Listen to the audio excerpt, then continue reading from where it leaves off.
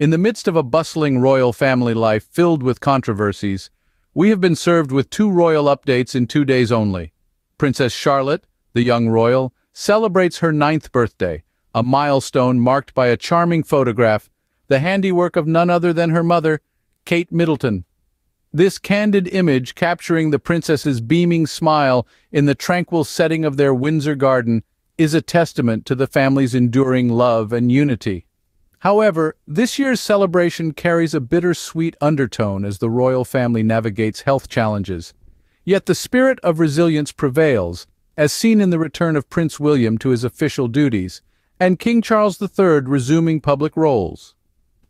Through it all, the essence of the royal family remains, a blend of duty, tradition, and an unwavering bond that withstands the test of time. This snapshot of Princess Charlotte's ninth birthday is more than just a picture, it's a glimpse into the heart of the royal family.